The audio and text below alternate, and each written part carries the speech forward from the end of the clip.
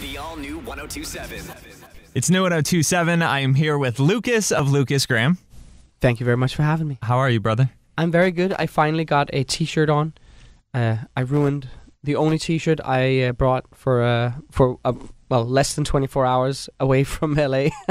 That, that he's he's in a new 1027 t-shirt right now and that is going to be like our campaign for the rest of 2019 just Lukas in our t-shirt plastered everywhere. I think it's the same color as the album I just put out, so uh, Yes. it fits. It matches. It's perfect. um, speaking of the album and the music, Love Someone. What I love about this song, and let me explain myself, but I love that it's not about your daughter. Um, it's about your wife, and I just think I'm I'm not a father yet, but I see friends and family members, and I, I see a lot of times it's very easy, I think, for especially with a first child to have that relationship eclipse everything else and even your relationship with your spouse. So I thought it was so romantic that you had this song about your wife following the birth of your child. It was almost like a like a vow renewal or something, you know? You could say that. I mean, the the two are interrelated. It's the whole like I, be- I became a parent and I travel so much, and coming home and seeing like what she can do on her own with this uh, little fireball of a kid. Um, I mean, yeah, I uh, I never felt that kind of love before becoming a parent, and and it, is true that my I really just got very like I just I started appreciating the love I have with my girlfriend more than than I did before. It's beautiful. Um, and it is dangerous. I mean, within the first two years, you lose uh, like six months worth of sleep. Yeah. Because you've now got a baby, and this baby is usually lying between you in bed now, and and I think it, it can be easy to forget yeah. like the relationship.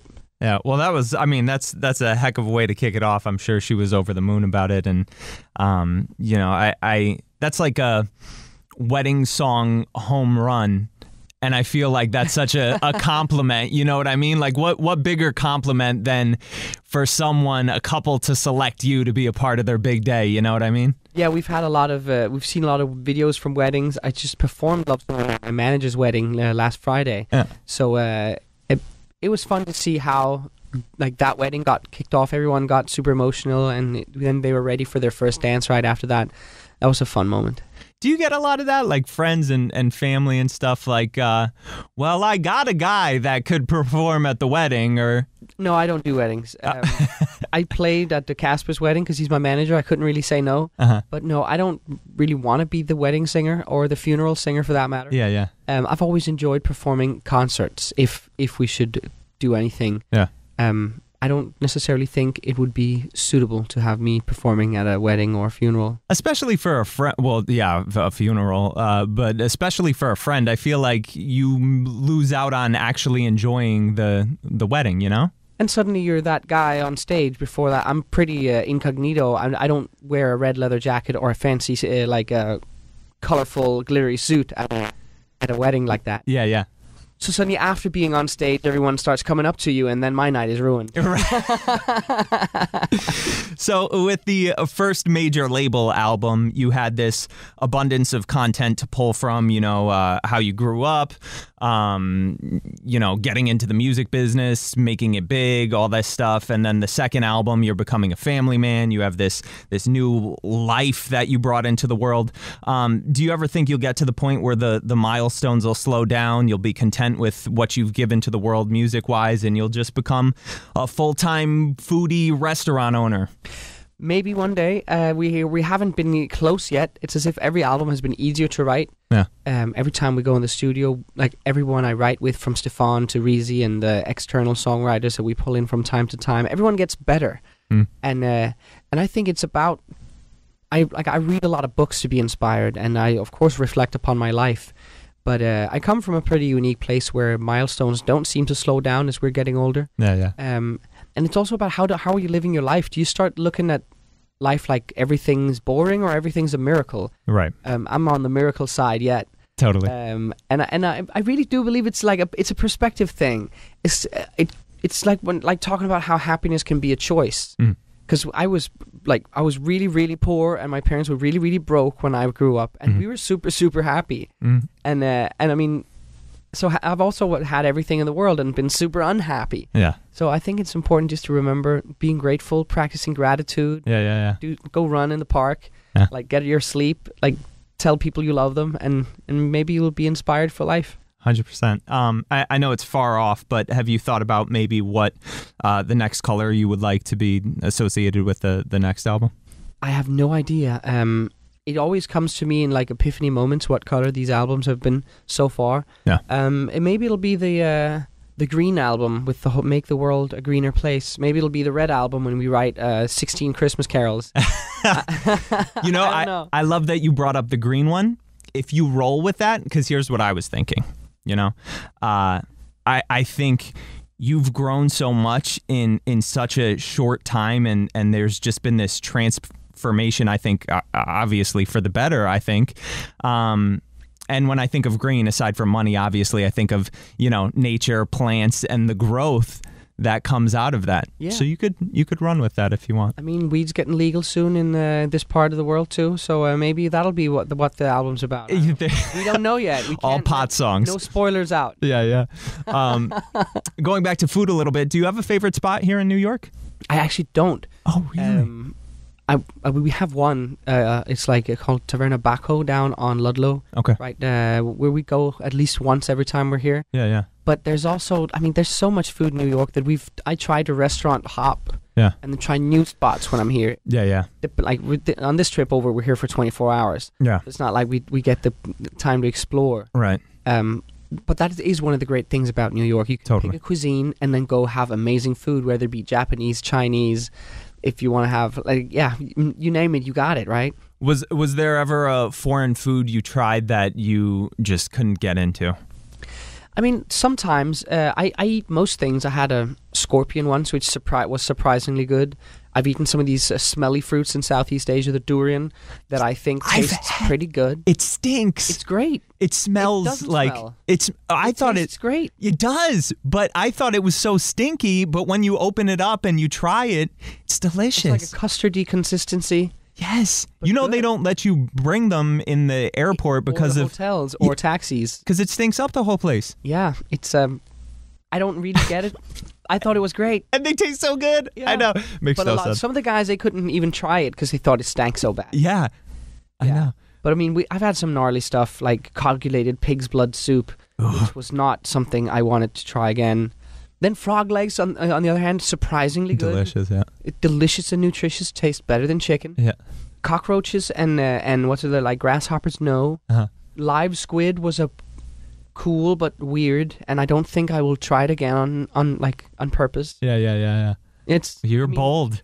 We've got some fermented and pickled fish from where I'm from, so I like Yeah. I Yeah. wouldn't say like we we've got some weird stuff, and Sure. then we, when you grow up with it, it's just so lovely. Right. Right. Totally. Um, let's talk about your your daughter a little bit. What uh, music are you exposing her to? Oh, she's just hearing everything right now. She wants to hear "Love Someone" all the time. Hear Daddy's song "Love Someone," Oh. and you're like, again, twenty fifth time today. I also have to go sing it a few times Yeah. uh, at work, honey. Yeah. Yeah. So um, I brought her on on TV shows, and then she wants to come for sound check, and then she just sits on me while I sing the song for cameras, which is kind of fun.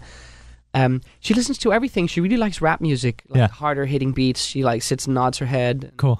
but also just children's songs Yeah. because we're from Denmark, so I play her a lot of English children's songs, learning the colors and shapes and stuff, just to stimulate her a little bit. Oh, I love it. Is there anything uh, aside from your music that comes on in the radio and her head just starts going and she's super into it? Nothing that I that comes to mind. She just like she wants. If we put on music, she'll dance and she'll f- run and she'll have fun. And when we noticed that, we just started playing more and more music around her. And they said from the from the daycare and the kindergartens we've been bringing putting her to in Denmark and Los Angeles. Yeah. they do like remark upon the fact that she's unusually active once it's music and and, uh, and love it. song. Yeah, yeah. Um, with this latest album, was there any song that didn't make the cut for for any reason? Something maybe you wanted to get on there, but you're holding on to, or I mean, I would say if you have 10 songs on an album, there were 100 ideas. Mm. And on this record, we wrote almost 44 songs, um, if not 44 exactly. I can't remember the number. Yeah. Uh, so there's 24 songs that didn't make the cut. Yeah, yeah. At the end of the day, it's also about the. St- I like to release albums that tell a whole story, so you don't just take, oh, these are 10 great singles, and put them on an album. Right. I like the fact that you can start it at A and end at Z, and and then you've been told a story, and you can feel something after that experience. Right. So it, some of the songs that didn't make the cut had a lot to do with the context of Mhm. the album and the content in the album. So can a song recorded in uh, 2018 pop up on a 2023 album? I mean, not a damn thing changed, which opens the Purple album. Was like the first parts of that was were written in the summer of 2015. Cool. So at the end of the day, I'll, songs just kind of grow and change. Sometimes what we do is like you kind of reuse them, graveyard them, like Mm. dig them up, chop them up, and they become something new. Um, so yeah, that's definitely possible. I've I've written a hell of a lot of songs. You might not be able to share this, but is there one lyric like maybe saved in your phone that you've been holding on to for a very long time, but you just haven't found the right?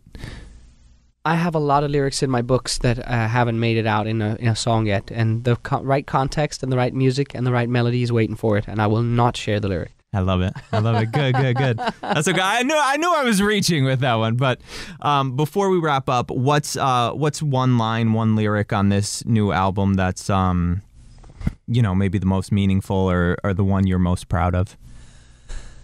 I mean, to me, two two lyrics come to mind. There is one from uh, from the Redemption song. Uh, um, You're not the only one. Where it's I'm not sure if it's the chorus that I like the most or it's the the first verse. But the whole idea, like, please give me a redemption song. I need one real bad. No Hmm. one seems to write them now that John and Bob are dead. There's so many people with big voices, and they're being used to sell products Mm. instead of talk ideology. Mm. And I would like maybe if some of these. It's like we have this term influencer, but what are we influencing? Right. People's spending habits is what we're influencing. Why aren't we influencing people's way of thinking? And then once the way of thinking has been influenced, we can start influencing spending habits to create like a better world. Yes. Um, and then there's the other one, Not a Damn Thing Changed from the opening song, Mm. where all the boys who grew up back to back still do the same things. Yeah. I'm still just singing songs like I was 20 years ago. Yeah. Some of my guys are doing what they did a long time ago, and unfortunately, they are still doing that and going in and out of jail. but at the same time, everything changes. Yeah, yeah. Yeah. I you know, I got to say you've done a nice job I think of of balancing that, you know, your home, your core beliefs and all this this new world of the glitz and glam. I think, you know, not many people uh, can balance it as well as you do. You do a nice job. Thanks very much. I'm just doing my best. Feet down, head up, eh? Of course. Yeah, yeah. Lukas, thank you so much for hanging out, brother. Thanks for taking the time.